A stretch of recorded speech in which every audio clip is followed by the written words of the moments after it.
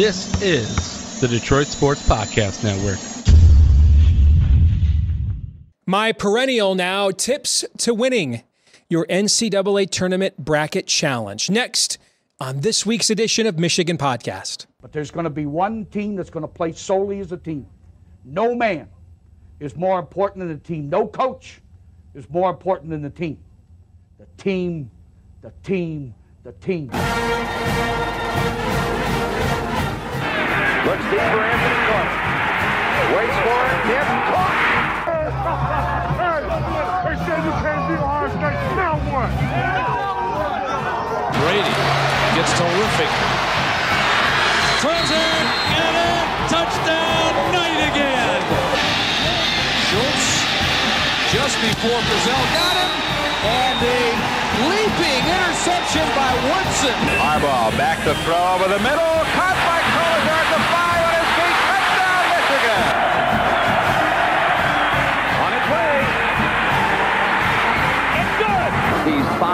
179 pounds, a junior at Michigan. But Jamie Morris packs a wallop, and he delivers for Bo Schembechler. And here's your first play. Pressure coming. Sack.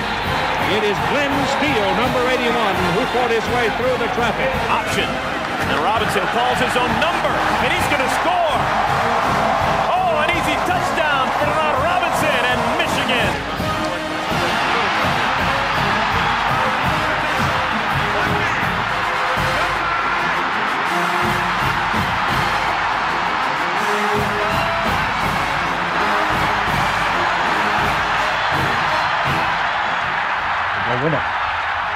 Championship again because we're going to play as a team. And when we play as a team and the old season is over, you and I know it's going to be Michigan again. Michigan.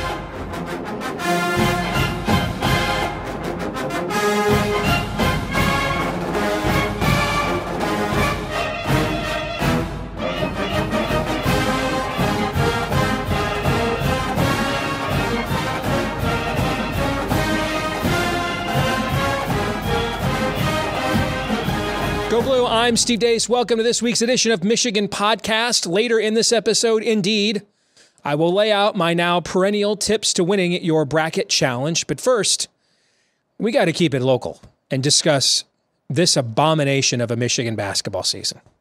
68 teams are about to embark on playing meaningful college basketball here in the midst of the madness. How many of them can say they have a top 100 recruit at point guard, a two time All American at center, and two other kids that might be first round picks in this year's NBA draft? I'll tell you how many. Not many is the answer, actually. We do, though. We do. And despite those things, we won't be playing meaningful basketball in the month of March.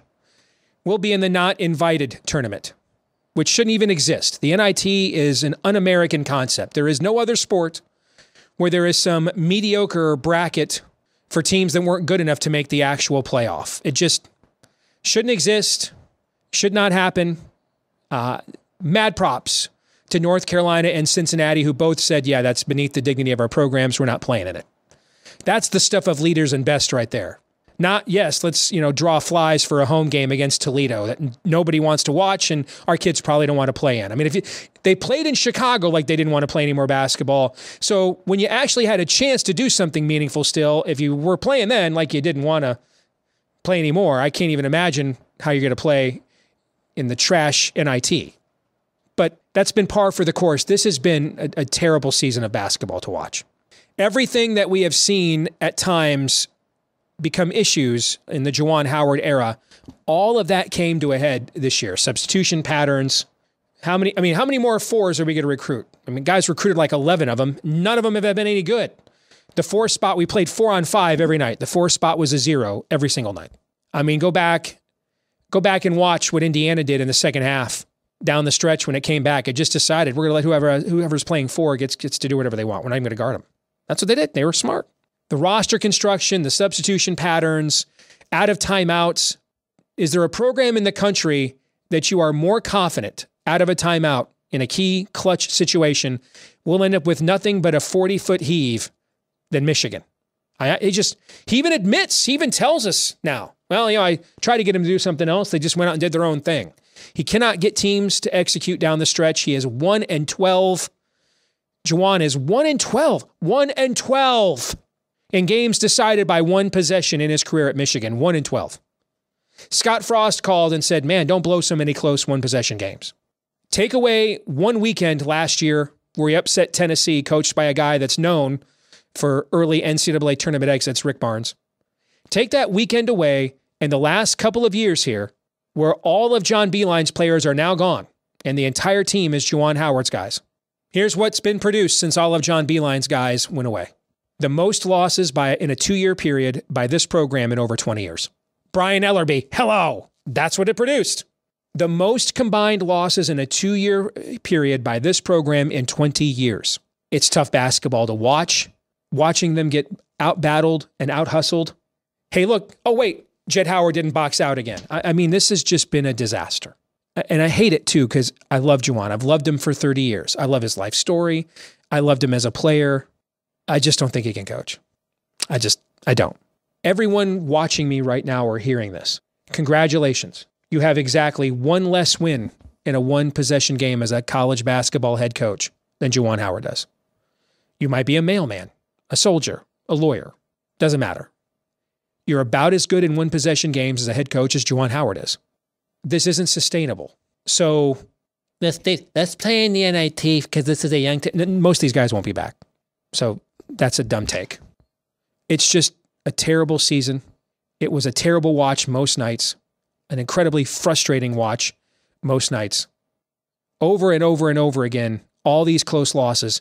If Michigan probably just wins one of those games, it's in the NCAA tournament today. Nevada got in and ended the season with three consecutive losses, all to teams that didn't make the NCAA tournament.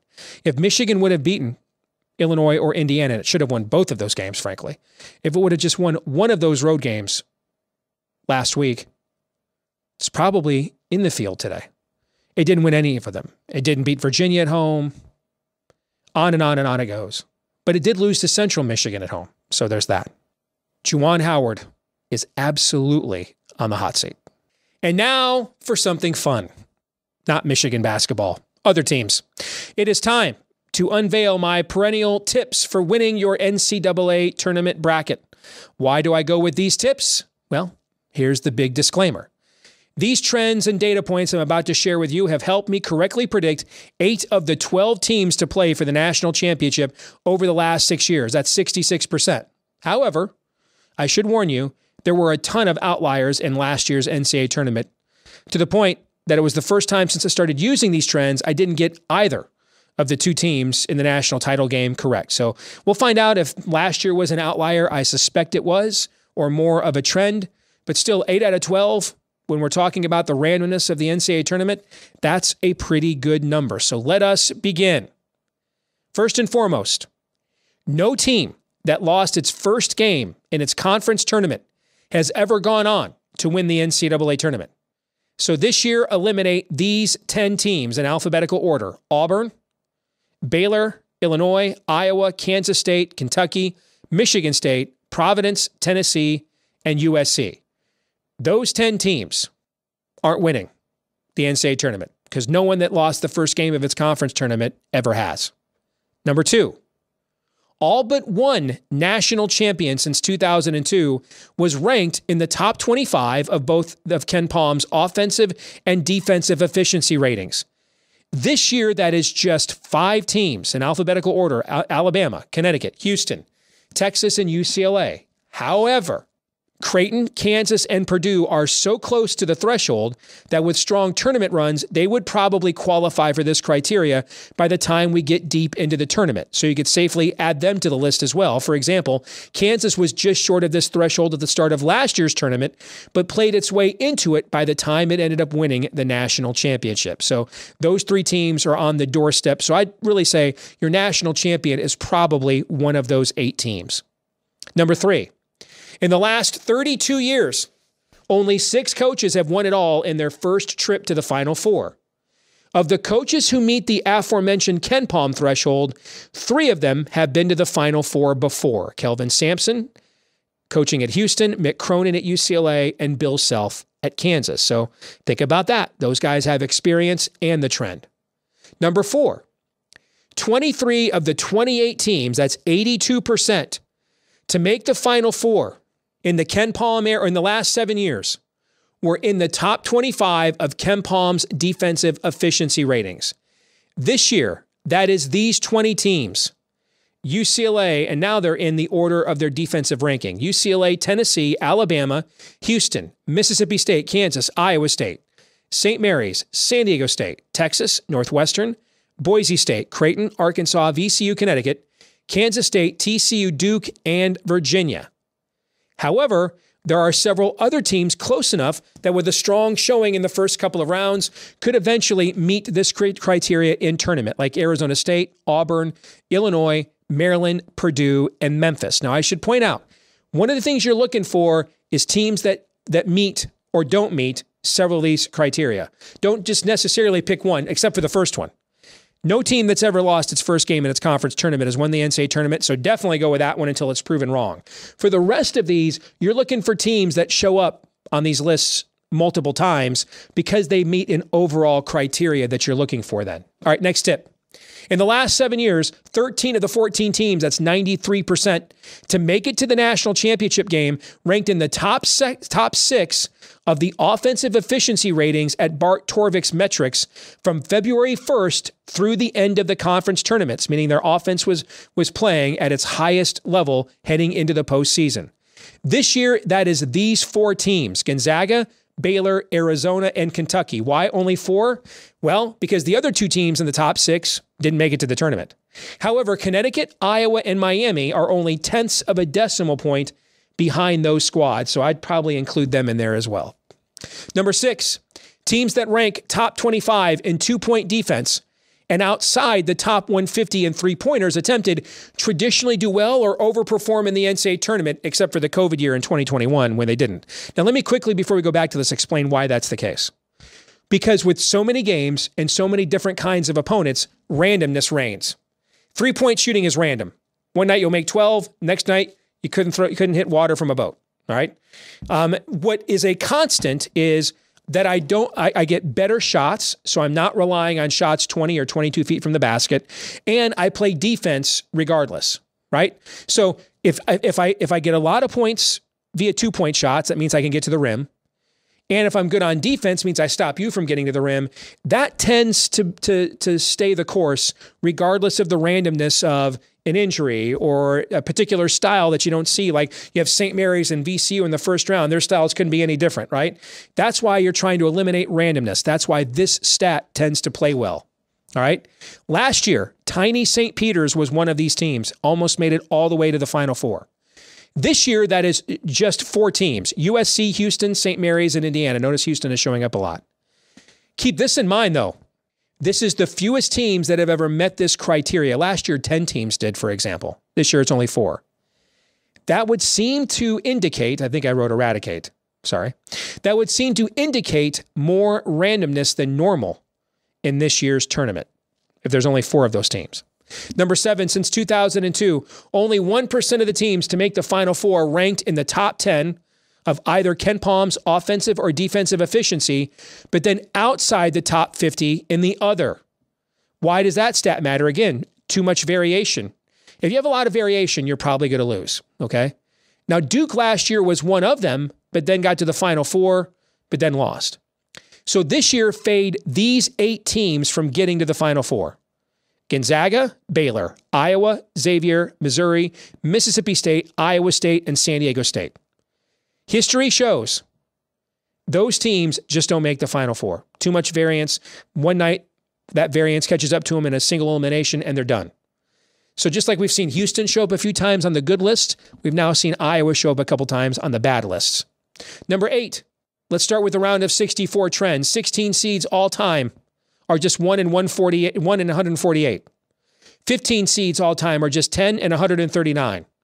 So therefore, pick at least one 13 or 14 seed to win, though, because, because at least one of them does about 20% of the time, St. Peter's last year.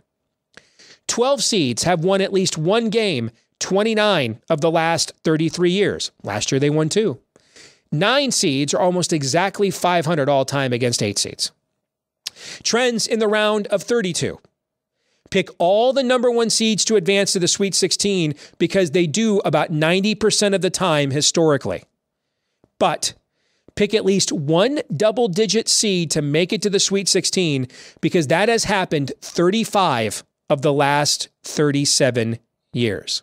On the round of 16, advance exactly three number one seeds to the Elite Eight because all time number one seeds make it that far about 75% of the time, although last year just one of them did. Advance no team seeded lower than 11th because all time only three of the 304 teams ever to make it to the Elite Eight were seeded that low. That's only 0.9%. But one of them, St. Peter's, just happened last year. Good luck playing those odds two years in a row.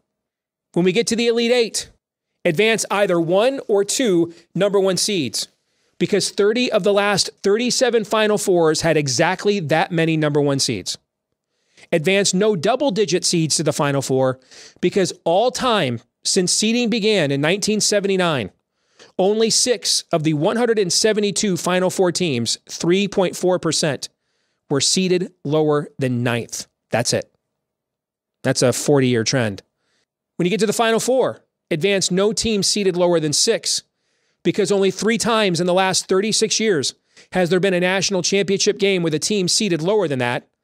But again, one of them was last year. So many outliers last year. Eight seeded North Carolina got there.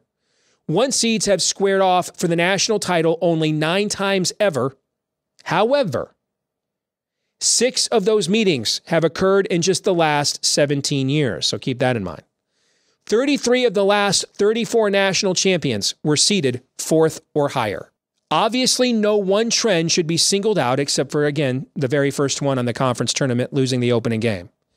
So that means what we're looking for here are teams that check multiple boxes to either fade or follow.